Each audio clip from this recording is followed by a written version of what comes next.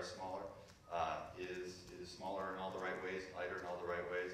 Uh, this shorter front overhang, this dramatic uh, 45 millimeter shorter, uh, a lot of this actually came from those LED headlights. Uh, when you're packaging a car, the headlight is in front of the tire. You have to have a tire, wheel well big enough to let the tire turn, and then enough depth to keep the whole headlight assembly and everything that's, that's in the back of the headlight. Uh, an LED light is a lot shorter than an HID that we had in there before. The, the, the amount of bulk behind the bulb on an HID is, is quite large, and that kind of forces you into a longer overhang. So that's why we went ahead and did LEDs across the board all the way down to the base model so that we could take advantage of the packaging benefits of, of that LED.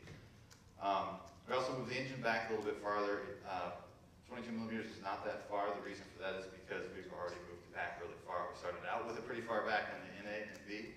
Uh, on the NC, I think we moved it back about five inches. Um, and so it was a real challenge to get it back any farther. Um, I think we got the fire, the, the bell housing flange back about 18 millimeters. And then this engine is actually a little bit shorter uh, than the old uh, two liter. But making that challenge even bigger is that the back of the engine here has um, this uh, high pressure fuel pump for the direct injection, which we didn't have on the previous engine. So we've actually got more stuff hanging off the back of the engine into the firewall, and we still pulled it back. um, this is just showing the, the, the, model bloat as all of us get older and heavier uh, that uh, the Miata went through just like the rest of us. Um, we finally went on a diet. This is just the, sort of our, uh, our way in, show you how well we've done on our, our diet. We got within one pound of the late NA cars. The NA started out with 1.6 uh, and halfway through its model cycle we put a 1.8 liter in it and added a second airbag and some door beams. Um, and uh, we've got back down to, to that level of weight, which is uh, pretty damn impressive, I'd say. Um, also in terms of polar moment, the rotational inertia of the car, uh, we got that back down within 1% of the 1.6 liter original car, the car that was completely stripped to the bone. Um, that, is a huge accomplishment. Um, a lot of that came from you know, taking weight off the extreme ends of the car. I'll get to that in a second. Um, this, this is a required slide for every new car introduction. Uh, we have to have a picture of the, uh, of the body structure and tell you 30% stiffer than it was before. Um, this one actually is not, uh, usually we're trying to make the body stiffer and lighter at the same time. And the weight target was such priority, priority on this car that the basic sort of design brief, we were targeting the same body stiffness uh, and using all of the, the, the advancements in, in, construction to just reduce weight. Uh, I think in the end, the body did end up being a little bit stiffer than it was uh, on the NC, but the, the main brief was just to focus on, on weight savings uh, and by using more high tensile strength steel and, and, a better structure. Um, we're also using more aluminum than we ever have before. This, uh, the red bits here are parts of the aluminum on the NC. The yellow uh, bits are, are, are, new pieces of aluminum now. You can see we've added the, the fenders. Uh, the bumpers, the extreme ends of the car really contribute a lot to that uh, polar moment. Um, the, uh, this structure behind the seats is both a roll hoop and a, a cross car beam for side impact. Um, and then uh, in the suspension, we always, we've had forged aluminum double wishbones all through the NC, but the, the upright was cast iron before. Now it's aluminum, it's about half the weight uh, that it was before. I've got that in the petting zoo over here, so I invite you to, to pick it up. Um, the uh, cross members across the tunnel, uh, all too, as well. Those are also over here because it's an impressive, uh, it's less than half the weight of the steel one uh, for that cross member. Um, again, just more reference for sort of where the where the weight savings came from. Uh, there's no one thing we can point to. Obviously, we, we, we, try to save weight absolutely everywhere. But I want to talk about the uh, the transmission a little bit here, uh, transmission and diff. I think this is a point where you can really sort of see how deeply committed we were to getting this car as light as perfect as possible. Uh, transmissions and differentials, especially manual transmissions, are the kind of things that you can hold on to for decades because there's no big advancements in the efficiency of a manual transmission. Um, and if you've got one that has the right torque capacity and the right layout, the right size, and already everybody thinks it has the best shifter in the, in the industry, you really don't need to do anything to it. Uh, we still threw out our old six-speed and made it completely new one from the ground up because we found places where we could we could improve it. Um, we were able to save 15 pounds out of this transmission compared to the previous six-speed. We were able to make the shift feel even better.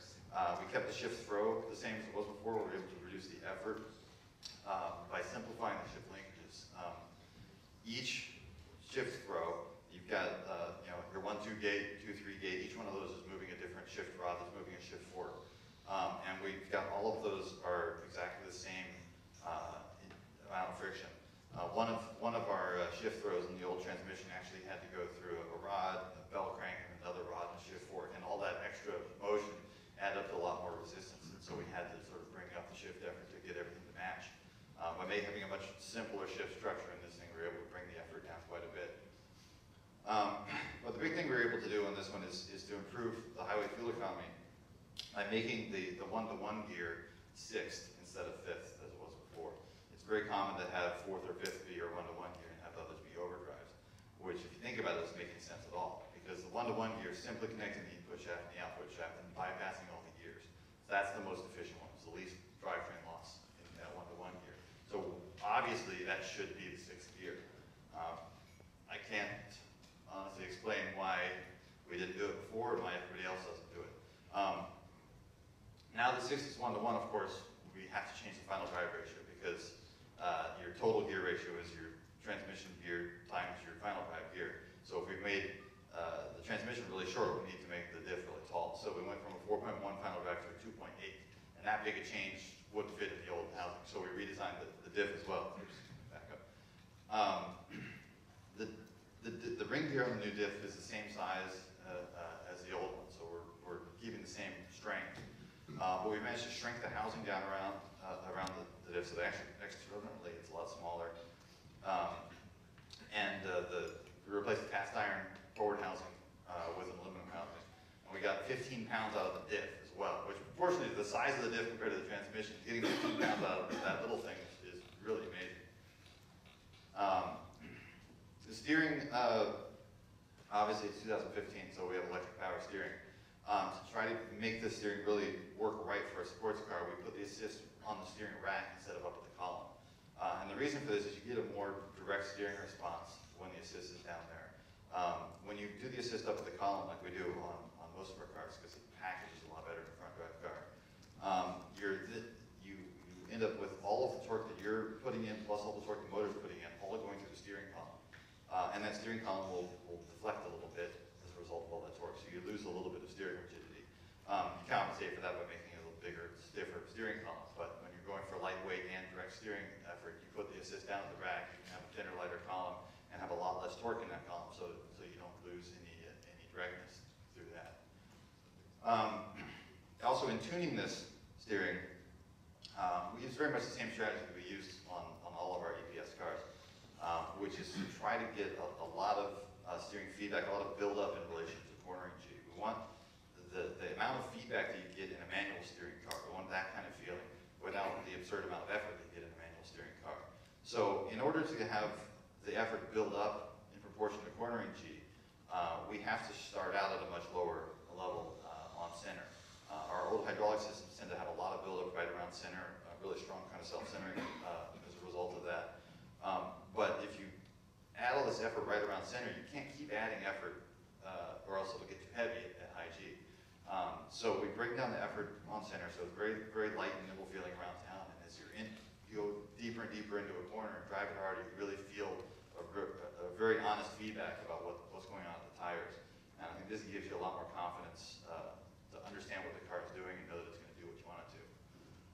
Um, at the rear of the car, this is a hard diagram to understand, but I'll talk you through it.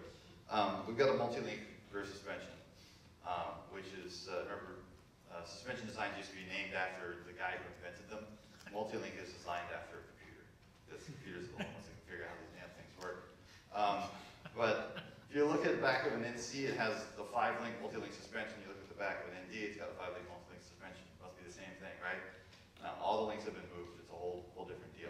So there's two different kinds of, of passive steering going on in the rear suspension. Uh, one is called a, a compliance steer, which is uh, the compliance of all the bushings. When you put a side load on the suspension, what does the compliance add up to? Is a little toe in, a little toe out. Uh, and then there's a kinematic steer, which is when the suspension goes through its stroke. Uh, does the compressing it make it toe in or toe out? Um, and with the NC, we had sort of two conflicting strategies going on. What we were doing is um, th those, those two uh, steering responses happen at different times. When you first turn the wheel, the very first thing that happens is you get a side load on that tire, uh, and you get a little bit of the compliance steer, and then the body rolls and you get the kinematic steer. And so on the NC, we had a, a compliance toe out. That first load would toe it out and kind of throw the car into a corner, and then the body would roll and it would toe back in and stabilize it, uh, which was really effective at making the car turn in well and, and, and have a lot of uh, cornering power. Um, but it made, it unsettled some people, and it took a little while for the car to, to kind of take a set in the corner. So if you weren't really comfortable with, with, uh, with the tail moving around like that, some people, uh, didn't really like it. Uh, so we've made this one have, uh, both the, the compliance steer and the kinetic steer are both toeing in. So everything is moving in the same direction. It makes for a much more linear, uh, turn-in response. And it's sort of a, a, a much more predictable feeling. Uh, the more predictable, the more communicative the car is, uh, the more you can comfortably drive it to its limits. Um, what's going on in this diagram here is simply this, uh, dotted line is actually the sort of virtual steering axis of the rear suspension. This is the front of the car. Uh, and because this bushing and this bushing are very, very stiff, um, those are the ones that the suspension is kind of pivoting under, uh, pivoting, pivoting around under compliance. And because that axis hits back here behind the tire, when you put a side load into the tire, it pulls it in a little bit, toes it in. That's, that's how the uh, uh, compliance steer happens. Um, finally, the engine, uh, this is uh, the same Skyactiv 2 liter that's in the CX3. Uh, it's in the Mazda 3, it's in the base CX5. Um, I think you won't necessarily recognize it as the same engine because we tuned it very differently here. Um, internally, it's exactly the same. Externally, we've changed the intake manifold, the exhaust manifold, the oil pan. Obviously, uh, a little bit of the cooling, coolant routing stuff around the outside. Uh, the very single most important change we made to this engine is, is right here. Uh, the valve cover is aluminum because sports car, when you open the hood, you should not see Tupperware. Uh, so we actually spent more money and added a little bit of weight simply so the engine would look right when you open the hood of the sports car. Um, so hopefully you guys can open that and stare and appreciate it. Uh, we also tuned this engine uh, for premium fuel. Uh, we normally, this engine's got 13 to 1 compression. We normally tune it for 87 octane, which is obviously is a big challenge uh, getting it to, to not knock uh, under those conditions. Um, when you want to have a really sharp throttle response, this quick transients, uh, quick load transients you have when you snap the throttle open, will tend to, to make it knock. So we tend to make the throttle response a little bit softer uh, when we're tuning for regular fuel. If we tune for premium, we can tune for a really sharp response. Uh, and that's where, where all the effort went uh, in the tuning of this car, is having a really sharp response and also having a really um, kind of linear response feel uh, through the pedal. Um, on, the NC, front-loaded the uh, throttle response perhaps a little bit too much. So the second half of the throttle um, didn't feel like it was doing anything. It, it was doing something, but the, the rate of change of the acceleration was, was kind of below perceptible level. And we figured out where that perceptible level is for most people and, and retune the, the, the throttle stroke um, so that you can feel any input you make, you can feel a G response from it. That's sort of a very fundamental thing. Um, in terms of actual power output, all the hoopla over this engine making less power than, than the old engine, here's the reality of the situation. The old engine made more power at 7,000 RPM, which matters a lot if you're at 7,000 RPM. But when you're not at 7,000 RPM, it doesn't matter a bit. Um, if you look at this chart, from 1,000 RPM to 6,000 RPM, the new engine makes more power. The reality is you can't rate an engine on a single data point. You've got to look at the whole power delivery. Um, and really, you need to look at the whole power delivery and the vehicle weight and the gearing, which is what this chart does. Uh, this is power to weight on the vertical axis and speed. So we've got gearing is determining the speed, uh, and power to weight is, is obviously power to weight.